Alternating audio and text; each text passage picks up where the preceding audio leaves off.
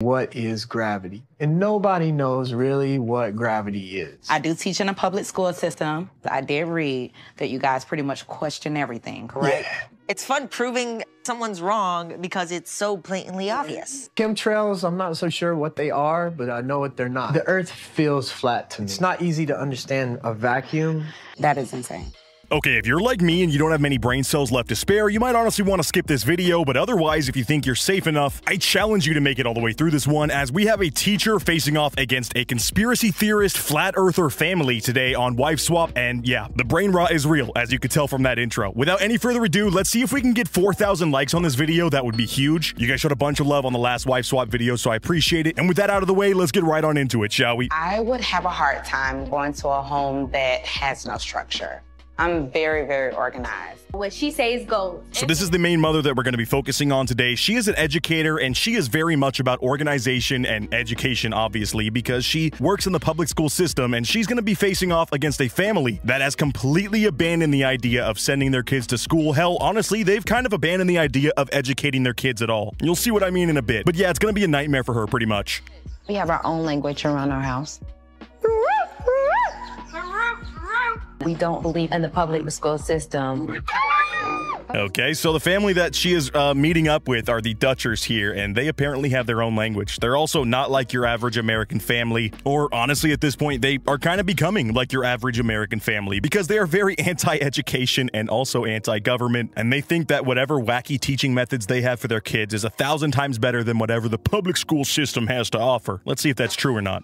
Public schools are teaching kids how to play the game in the rat race. So I homeschool both of our children. The world is your school. I love how she's like, the world is your school. So don't really look to me to be your teacher. Just look at the leaves and the dirt and try to take what you can from that, okay? All right, you kids stay outside for a couple hours and uh, we'll count that as school for the day. Awesome. Also, I don't even disagree with this woman when it comes to, you know, the school kind of conditioning kids to get ready to participate in the rat race that is living under capitalism in America in today's day and age. But, you know, there's better ways to attack this than just removing your kids from that system completely because you think you're better than it. There's still a ton of fundamental, you know, and also social things that they're going to get from being in public school that you are greatly depriving them of. I mean, I'm sure they don't know their multiplication tables or how to read as well as they should for their age, and that is 100% because of the fact that they don't want to let their kids go to school.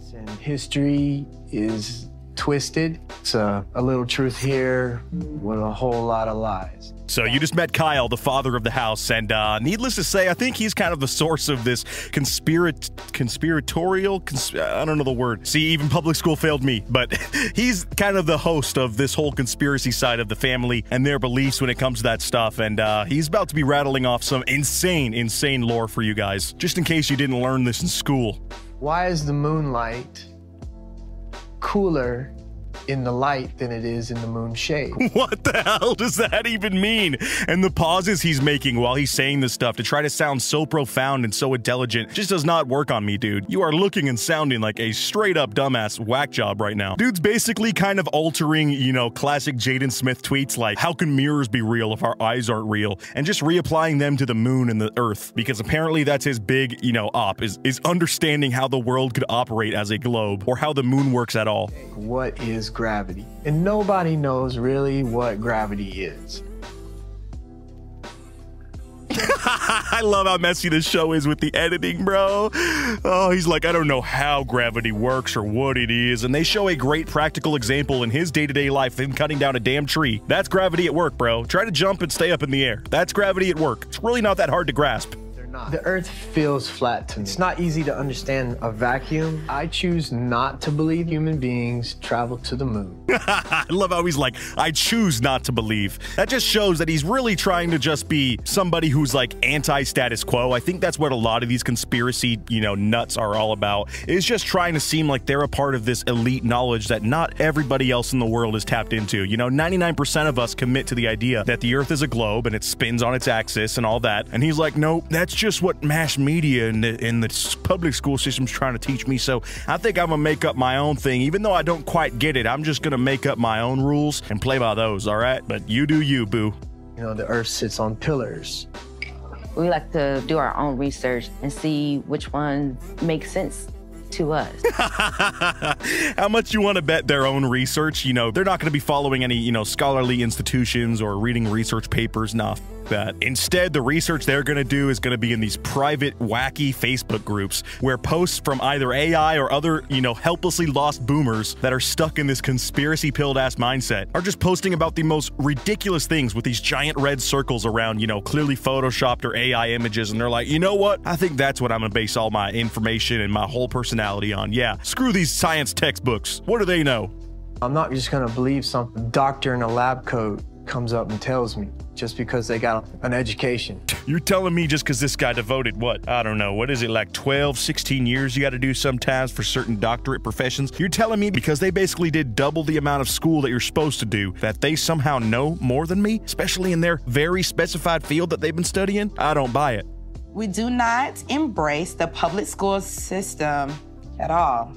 So this offends me. So obviously they're making the switch now, and uh, this teacher is taking great offense to the fact that they don't believe in the public school system. That's basically like saying your job sucks and we don't believe in anything you do. And as we all know, public school teachers need to be applauded because, God, they have one of the most difficult and underpaid and underappreciated jobs in modern society, and they really do catch a lot of flack from these new age, you know, spiritual, crazy conspiracy people. Now, when I talk about teachers in this way, do I claim that the public school system is perfect? Hell no. But obviously, to just say that all teachers are useless and that the entire system needs to be thrown away is ridiculous. We also believe that 9 11 didn't happen the way we've been told, and that humans have never been to the moon or traveled space. Damn, they're hitting all the classics, bro. Also, have you noticed it's weird you can't believe in like one conspiracy theory? It's just kind of a slippery slope with a lot of this stuff to where it's like all got to be lumped together.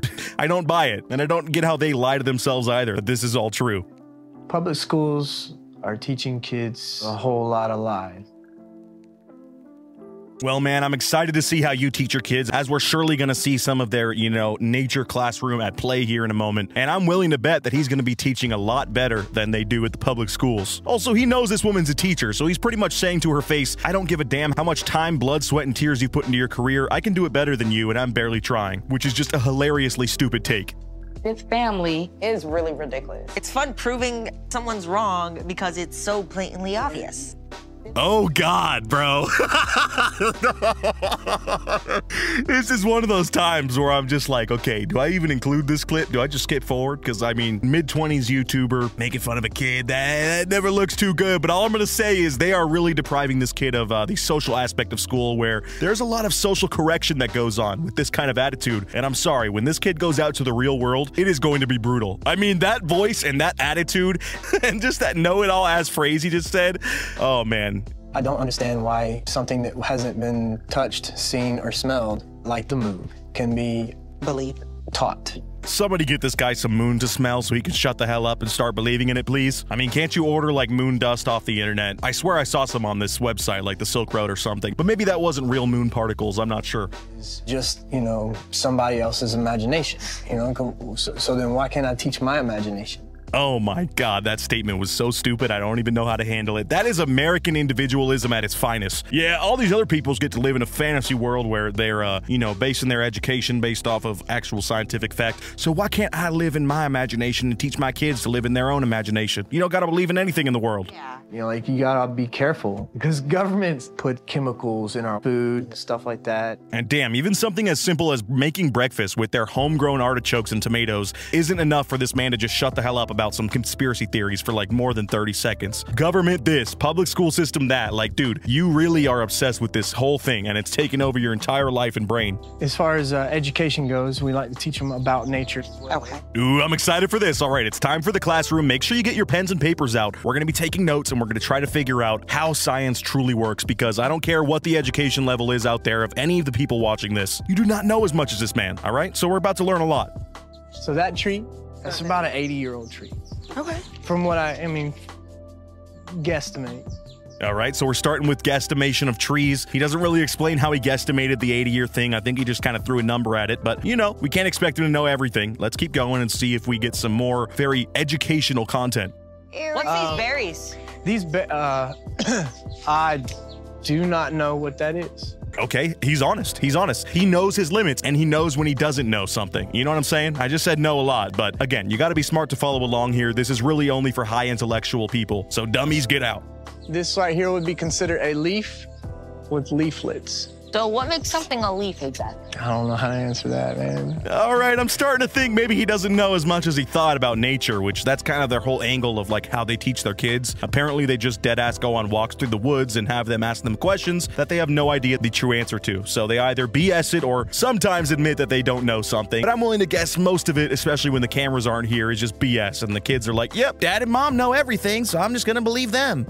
I don't understand all of what I read. I still am learning. I just learned today that oranges aren't supposed to be orange. I literally feel my brain turning to sludge or like all the ridges are just smoothing out and it's becoming this perfect texture with not a single groove in it. Like he is just singeing off all of my remaining brain cells every single time this dude speaks. I also love how he admits, I don't know much of what I read. Like, yeah, that's the issue. You don't like feeling stupid, so when you read something that you don't understand, instead of trying to understand it, you just say, oh, to hell with this, it's fake, and you make up your own conclusion, which is crazy harmful to be teaching other people to, you know, operate throughout the world like that.